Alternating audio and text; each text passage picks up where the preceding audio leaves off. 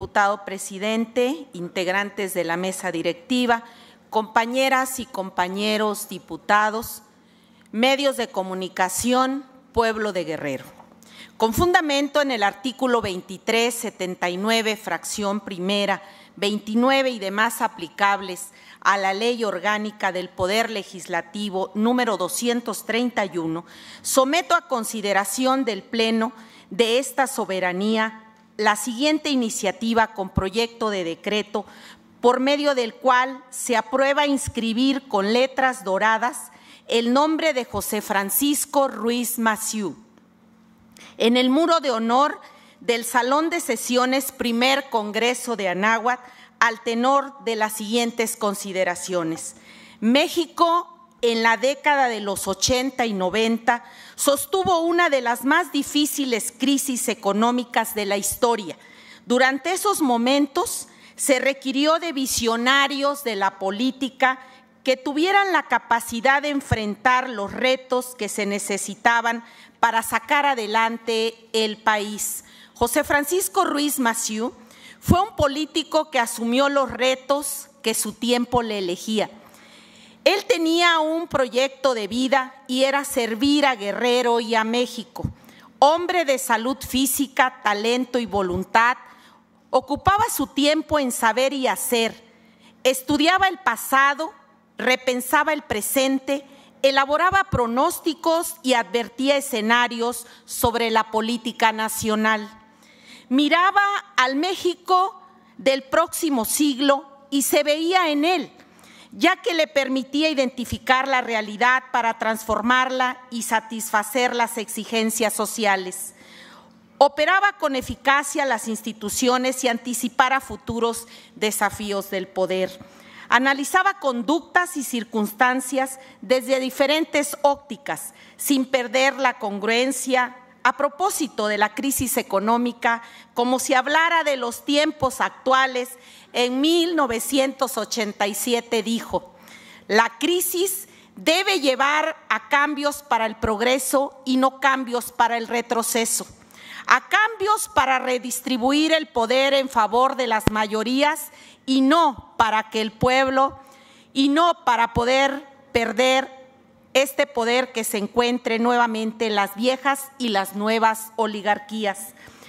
Nacido en la recia tierra de Guerrero, criado en la tradición de servir a su comunidad y cultivar con la disciplina de la lectura desde muy joven, desarrolló el gusto por la historia, sagacidad mental, curiosidad intelectual y destreza al expresarse habilidades que no solo le, facilitaron su sólida formación profesional de abogado, tan agudo en sus análisis como elocuente en sus textos, y le merecieron pronto reconocimientos como investigador, lo perfilaron de manera casi natural a lo que sería su vocación definitiva, la política, y de la mano de esta, el servicio público prototipo del abogado de profesión y político de vocación, que no solo se dio tiempo de escribir ideas a tiempo, sino también las perspectivas de la democracia, el proceso democrático de México, la construcción democrática, entre otras reflexiones, su gran logro es haberlas puesto en práctica. Sus convicciones orientadas a sus actos creía en la democracia plural, el debate político, el acuerdo con los contrarios y siempre privilegiar el interés superior de la sociedad. Muy académico para ser gobernante y muy político para ser académico. Mereció el respeto en ambas esferas de la vida pública. Político moderno, dijo, dijo el respetado extinto Sergio García Ramírez al referirse a él, que entendió a la democracia como la define nuestra Carta Magna en su artículo tercero, más que como un régimen político, como un sistema de vida fundado en el constante mejoramiento económico, material y cultural del pueblo. Ruiz Massieu fue ejemplo de estudio, dedicación e inteligencia, aptitud de servicio, eficacia y compromiso con las mejores causas de México Tuvo un notable desempeño como administrador público y como político en los que destacan jefe del Departamento de Orientación y Servicios Jurídicos, secretario de la Asamblea y director general del Infonavit, director general de Asuntos Jurídicos, oficial mayor y subsecretario de Planeación de la Secretaría de Salud y secretario general del Gobierno de Guerrero en 1981.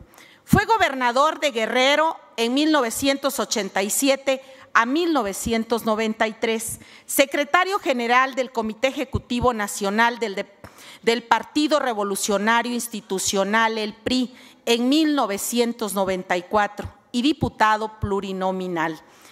La Secretaría de la Mujer, la Secretaría de la Juventud, la Procuraduría Social de la Montaña, la Procuraduría de la Protección, de Protección Ecológica, son algunos de sus muchos aportes a la administración pública. Como político, cambió las reglas del poder al instituir la Comisión Estatal de Derechos Humanos antes de que ésta se estableciera a nivel federal. Asimismo, instituyó el primer Consejo Estatal Electoral al dejar de tener el tutelaje del Ejecutivo, dotándolo de una naturaleza jurídica que le dio la calidad de órgano técnico del Honorable Congreso de la Unión. El incansable Ruiz Massieu constituyó el primer órgano jurisdiccional electoral como una responsabilidad compartida con los poderes públicos tradicionales. Su intensa actividad legislativa se hizo crear leyes, retomar la necesidad y el sentir del pueblo en sus giras y actos de gobierno, haciendo anotaciones que muy pronto se convertirían en leyes aprobadas por el Congreso del Estado, siendo sin duda el periodo de gobierno de la mayor productividad legislativa, donde se crearon y modificaron más de 40 artículos de la constitución política de este Estado. Su tenaz gestión revela la realización de importantes obras como la Autopista del Sol y el proyecto turístico Acapulco Diamante. Impulsor insustituible de la cultura, rescata la iglesia de Santa Prisca y crea las jornadas alarconianas en Tasco y las altamiranistas en, el siempre, en la siempre heroica ciudad de Tixcla. Fue José Francisco Ruiz Mació, un mexicano de sección y guerrerense ejemplar, que actuó siempre con la ley en la mano, pugnando por el fortalecimiento de las instituciones públicas. La presente iniciativa tiene como propósito reconocer y homenajear a un político que contribuyó al entendimiento de nuestro proceso democrático y el diseño de una nueva política política moderna. Él decía que prefería la política del sentimiento y no la del resentimiento. Es precisamente en el tiempo y la distancia cuando su obra adquiere una justa dimensión, ya que si bien es cierto que las obras materiales se construyen con el esfuerzo y las manos, las obras políticas son resultado de la constancia, de la tenacidad y del intelecto de sus edificadores. Ciudadanas y ciudadanos legisladores, no solo se trata de dar conocimiento o reconocimiento a los caudillos, sino también a políticos idealistas y transformadores sociales que hicieron aportaciones importantes para fortalecer nuestra sociedad. A 30 años de su asesinato como mexicanos y guerrerenses, recordamos al hombre público, reservado, culto, elegante, pensador, al clásico estadista, al abogado, al reformador, al catedrático, al excepcional constitucionalista, al gran impulsor del desarrollo. Fue José Francisco un hombre anticipado a su tiempo y a su destino. Por lo anterior, propongo a esta soberanía el siguiente proyecto de decreto por el que se aprueba inscribir con letras doradas la leyenda, el nombre de José Francisco Ruiz Maciú en el muro de honor del Salón de Sesiones, primer Congreso de Anáhuac de este honorable Congreso del Estado. Artículo primero. La sexagésima cuarta legislatura al Honorable Congreso del Estado Libre y Soberano de Guerrero aprueba inscribir con letras doradas el nombre de José Francisco Ruiz Maciú en el muro de honor del Salón de Sesiones Primer Congreso de Anáhuac de este Poder Legislativo. Artículo segundo. Celébrese sesión solemne del Honorable Congreso del Estado Libre y Soberano de Guerrero en el Salón de Sesiones Primer Congreso de Anáhuac y la que se devele la inscripción a que se refiere el artículo anterior e invítese a la misma a los titulares de los poderes ejecutivo y judicial, federal y local, así como a los familiares que sobreviven del personaje mencionado.